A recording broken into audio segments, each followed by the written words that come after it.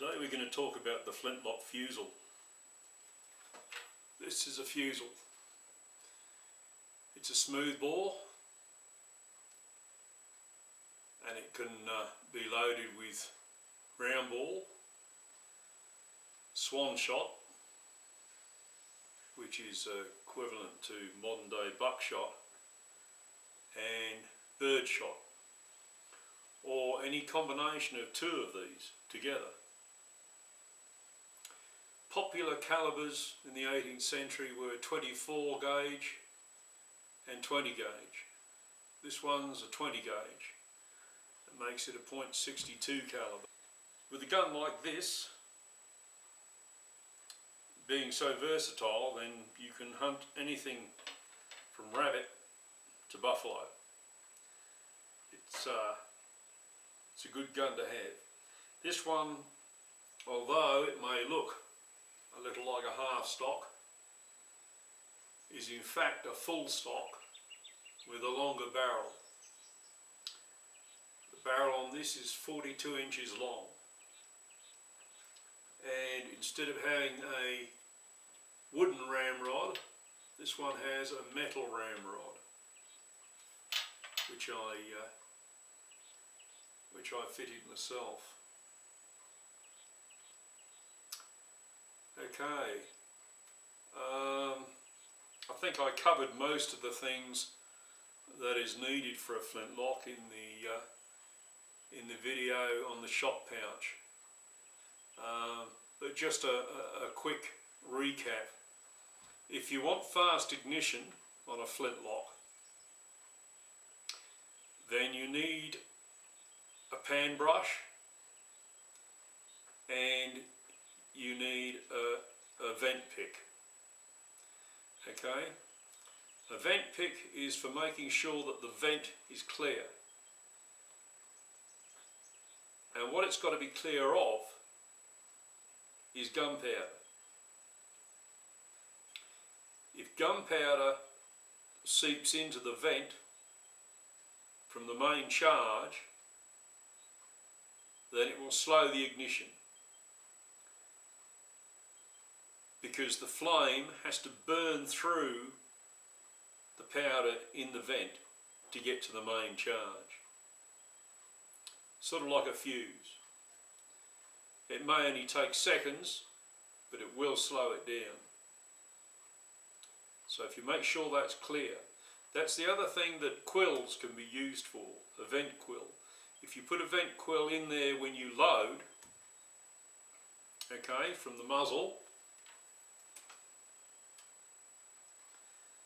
then the powder won't get in there in the first place. It won't seep into the vent. Okay, and once you've loaded, you can take the quill out and you can prime the pan. Okay? The brush is for brushing out the pan after you fired the gun. You get some black powder residue in the pan. Sweep that out. And on the hammer, wipe it over. If you've got some cloth, use the cloth. If you haven't got cloth, your shirt sleeves down, use your shirt sleeve. If you can't do that, at least wipe it off with a dry thumb. Okay?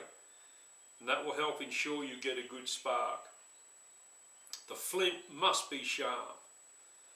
Okay? So if you're going out hunting with it, always check that that flint is sharp. Some people replace that flint automatically.